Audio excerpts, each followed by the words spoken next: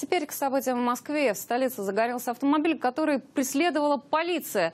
Это горячее видео или горящее видео нам прислал гражданский репортер. Произошло все ночью на Рязанском проспекте. Машина вспыхнула после удара о столб. К счастью, никто не пострадал. Водитель на марке успел покинуть салон.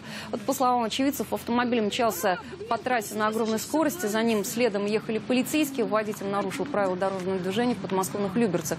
Во время погони мужчина потерял управление. Машина врезалась ступ и загорелась.